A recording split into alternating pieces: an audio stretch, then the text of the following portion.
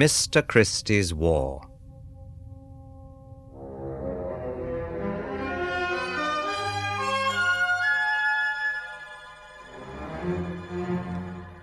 Ruth Fuerst was born in 1922 near Vienna. In 1939, shortly before the war broke out, she came to England as a student nurse. She might have returned to Austria when hostilities were declared. She chose not to. She might have been interned as an enemy alien. She was not. But her nursing training stopped, and she went to work in a munitions factory off Davies Street near Grosvenor Square. She lodged in a bed-sitting room at 41 Oxford Gardens, a very short walk from Rillington Place. She was a tall, good-looking girl with dark brown eyes and hair centre-parted so that the soft curls over her ears framed her smooth oval face. Her eyes were large and lustrous. Her mouth was full and shapely. Yet with all these natural advantages, she was poor and lonely. The munitions factory did not pay much, and there would be no great wage increases under wartime conditions. Ruth was a stranger in a strange land. In the tea shops and cafes of Notting Hill, she struck up friendship with some of the street walkers from the area. She quickly realized that they earned decent money, and a very little putting out for hire would usefully supplement her meagre wages. It is probable that she did so. Christie later claimed that she bore an illegitimate baby for an American soldier, though his statements were all as self-serving as he could make them and cannot be relied upon. Christie met Ruth in 1943. He was consistent in claiming that he was in uniform as a special constable when the acquaintance was made, though uncertain as to whether he first saw her on the beat, uh, his rather than hers, or in a snack bar where he was looking for a suspected thief. In any case, a sort of relationship developed. It seems they had lengthy conversations when they came across one another. It seems, too, that Christie started taking her back to Rillington Place for the business, while Ethel was working at Osram's factory. He claimed that Ruth tried to borrow ten shillings from him, and this led him to invite her to the house for the first time. Given the characters of both, one must say with hindsight, it seems equally likely that Ruth observed the copper eyeing her lasciviously and named her price. We don't know whether Christie blackmailed her into giving him her sexual services free by threatening to report her for soliciting, or whether he paid her fee in the normal way. It would be in keeping for the persecuting counsel to throw his uniformed weight about dishonestly, but we have no evidence that he did so. He himself wanted it to appear that the friendship was merely conversational and platonic, until the day in August when he killed her. But he never could stop posing as his rigid father's prudish son, and it is most unlikely that the twenty-one-year-old nurse factory hand casual hooker and the forty-five-year-old special constable had anything much in common. Their relationship surely rested on his lech for her. In the middle of August 1943, Ethel Christie went to stay with her relatives in Sheffield. It is not disputed that Ruth went to Rillington Place with Reg during her absence, and there he killed her. Christie, trying to make himself look virtuous under the most unpromising circumstances, later claimed that Ruth had suddenly undressed and proposed intercourse as though it had never happened before. I was rather backward and shy about the act of love-making on this occasion, but she was encouraging, he declared, and then went on matter-of-factly, After the affair was ended, I strangled her. Dear, dear, dear. Sounds as though it might have happened to any of us, doesn't it? Without intending it at all, we find ourselves lucky enough to be making love to a very attractive young lady who has completely unexpectedly stripped and cajoled us, though we certainly gave her no encouragement. And that's something that's never happened to me in thirty years' hopeful adult life. And then, before we've really recovered from our surprise, we find we've strangled her. How unfortunate. A slightly more likely story emerges from a variant Christie put forward. While Ruth was in the house, whether clothed or naked, innocently conversing or playing the siren, Christie didn't say, a telegram arrived from Ethel saying that she was coming home early and would be arriving that night.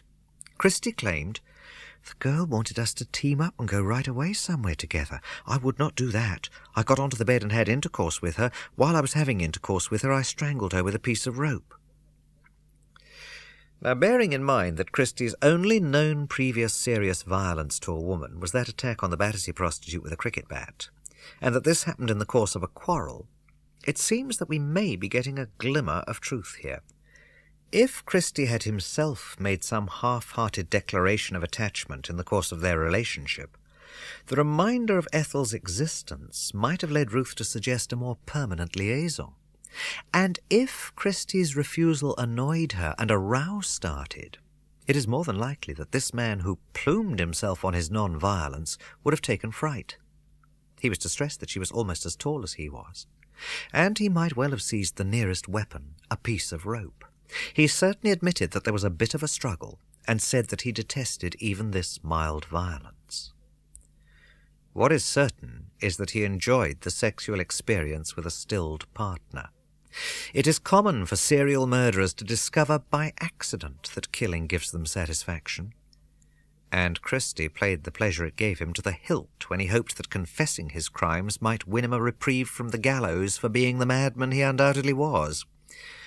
He felt at peace, he said, contemplating her beauty in death.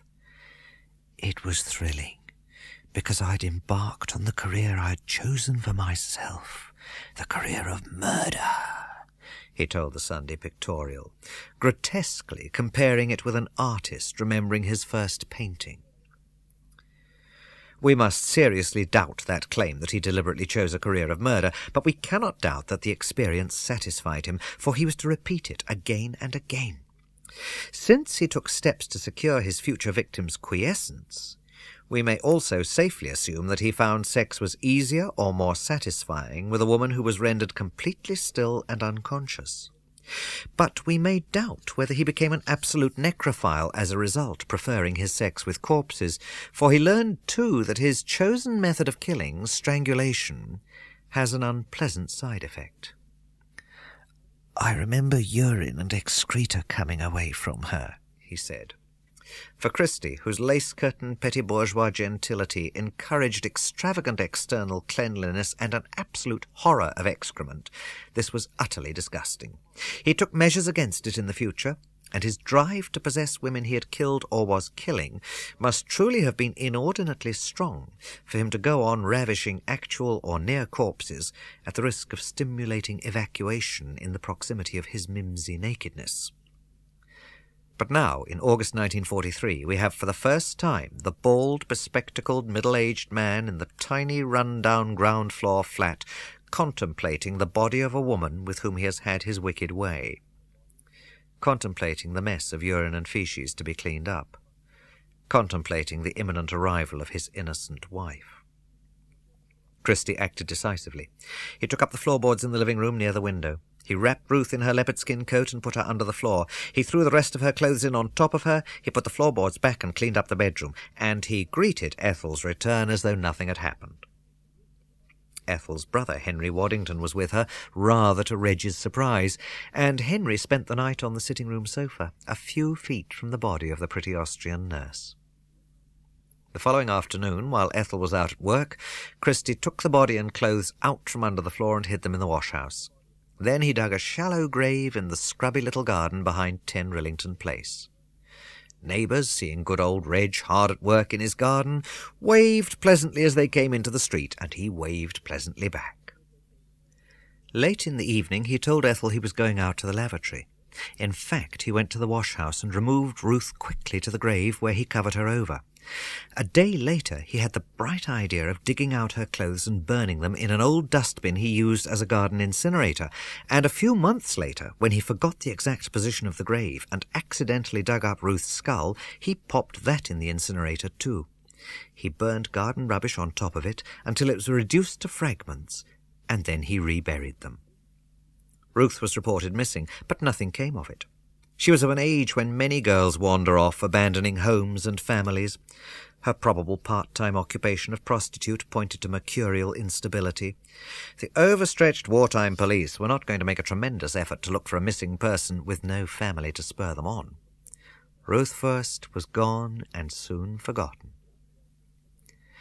This was, without a doubt, the most important event of Christie's life.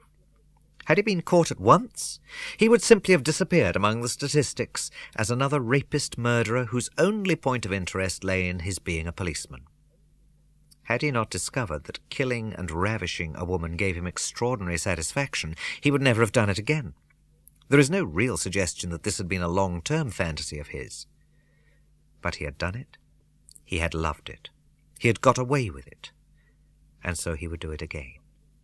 And again and again, and become a monumental monster in the annals of crime. But he didn't do it immediately. He left the police at the end of the year. Maybe he dimly felt that it was unseemly for a copper to keep the victim of his lust snugly tucked away among the hollyhocks. But equally possibly poor Ruth was well out of sight and out of mind, and only his humiliation at the hands of the soldier he had cuckolded led him back to civvies and so he went to work for Ultra Radio, first in the electrical department, then in dispatch. And in the canteen over lunch he became friendly with Muriel Amelia Eady. Her murder was to be his most carefully planned crime. It had to be. Not only had he to wait for Ethel to go away again, he had also to find a way of getting Muriel to come and visit him unsuspectingly without her boyfriend and he had to find a way of bringing her into his sexual clutches without any of the struggling that had marred the delight of murderous ravishing in Ruth's case. Muriel was a respectable woman. There would be no question of her spontaneously undressing and inviting Reg to hump her for money or pleasure. And so Christie devised the murderous modus operandi that was to become his trademark, the little whiff of household gas that left healthy young women helpless before his fibrocytic lust. It was Muriel's catarrh that gave him the idea. She was a chronic sufferer, Nine years after her death, her skull would still reveal to pathologists that she was a serious victim of that typical English condition in the damp days before central heating, when a Baden-Powellish asexual culture proudly proposed that a bedroom should be the coldest room in the house. Those enduring rhinitis and catarrh usually let all their friends and acquaintances know about it. They needed open windows in the coldest weather to breathe. They suffered aches and pains under and between the eyes. Their bugged up noses could be heard in their enunciation. And who more likely than Reg Christie, the medical know-all with the St. John's ambulance certificates, to become the confidant of a friend with a long-running ailment? Reg had just the answer. He had, he said, a perfect remedy, a never-failing inhalant. Let Muriel come round to Rillington Place, and he would treat her with it. An appointment was made for a day in October when Ethel was away in Sheffield again. Made very close to the time, too, so that neither Ethel nor Muriel's boyfriend was aware of it. Muriel came to the house, was admitted, and welcomed with a cup of tea. The cup that cheers but not inebriates was to become another hallmark of Christie, one that this ever so respectable Englishman was happy to acknowledge. Having a cup of tea seems as much a part of my murder career as whisky is with other murderers, was his complacent remark years later. It was equally part of his rancidly hypocritical pseudo-respectability that he should smugly present as virtue his non-alcoholic drinking habits at times when he was practicing overwhelming evil. After the nice cuppa, Muriel was carefully placed in a chair in the kitchen with her back to the window. Reg gave her a square glass jar with a screw-top lid.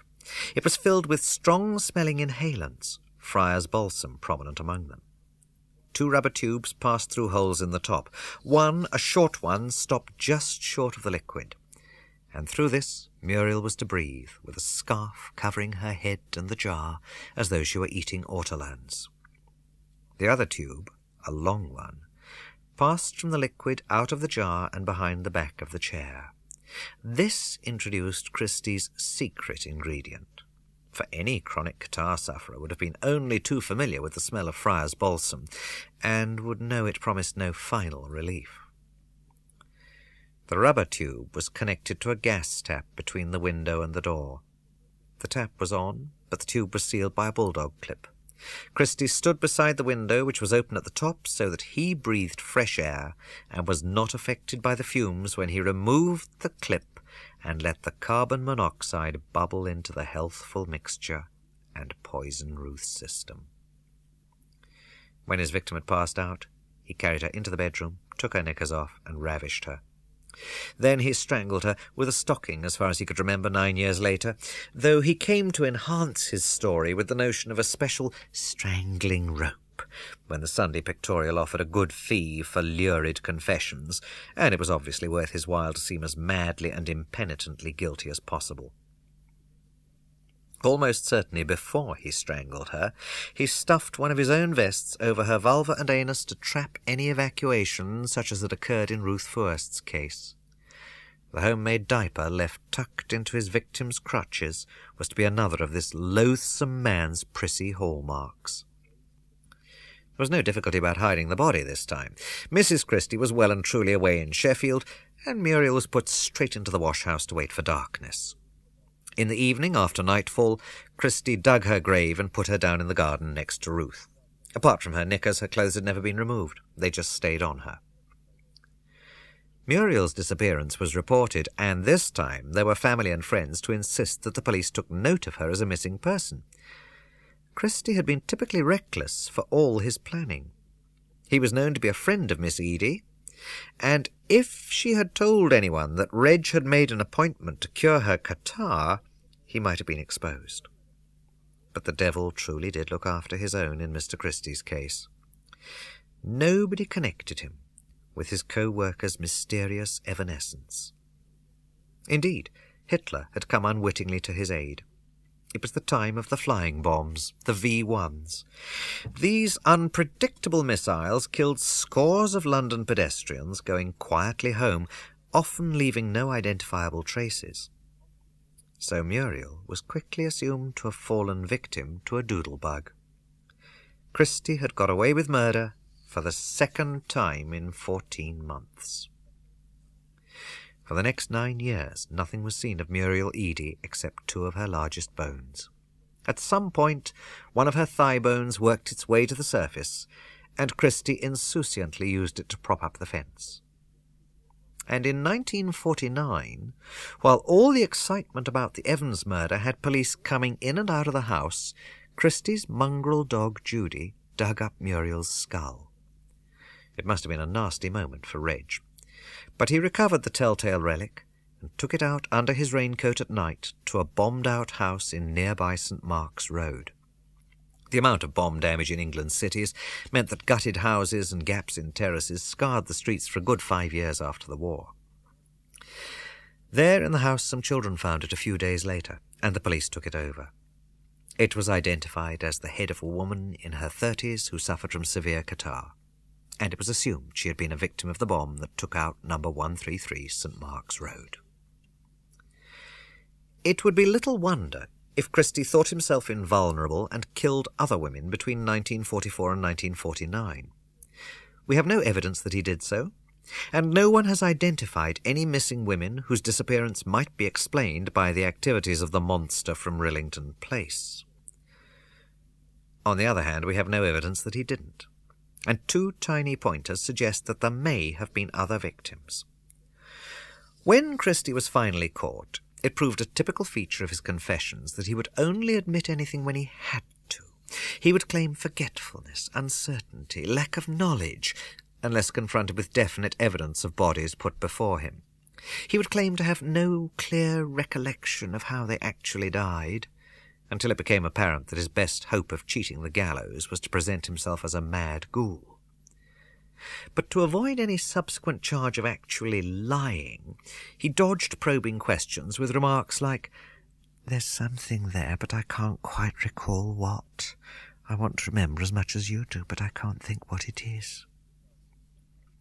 Often these hints resulted in subsequent confessions, once they were unavoidable or useful and when his counsel asked him at his trial whether he had killed anyone between 1944 and 1949, Christie produced just the same slimy evasiveness. I don't know, was his first answer. Do you mean you may have done? asked Mr. Curtis Bennett. I might have done. I don't know whether I did or not, whispered Christie. Such a smoke screen usually meant that he had something he'd hide if he could, acknowledge as it all came back to him if he had to. And the squalid tobacco tin containing tufts of pubic hair pointed in the same direction. Christie's first claim was that they came from his victims, the known four, discovered inside 10 Rillington Place in 1953. Forensic science laboratories showed that they did not. So Christie dithered again. He didn't know who they came from, he said, but he might have had other victims. Of course, he might equally have been covering up a trivial habit of collecting keepsakes from prostitutes visited in a perfectly normal way. His moral standards were so vilely warped that he found it fully as shameful to admit to having a covert sex life as he did to being a murderer. He liked to imagine himself a figure of great purity and respectability, with nonetheless a Charles Boyer appeal for women who flagrantly flung themselves at him. You've heard enough to know that this in itself was a delusion amounting to an insane detachment from reality. But we really don't know whether he went on killing during the 1940s. There was no more room in the garden for victims to be added to the collection. All we know is that Christie led an outwardly blameless and respectable life, allowing, of course, for furtive visits to prostitutes, until the Evans murder threw him into a very sympathetic public spotlight. And thereafter, until 1953, he was again outwardly respectable, conventional, and law abiding.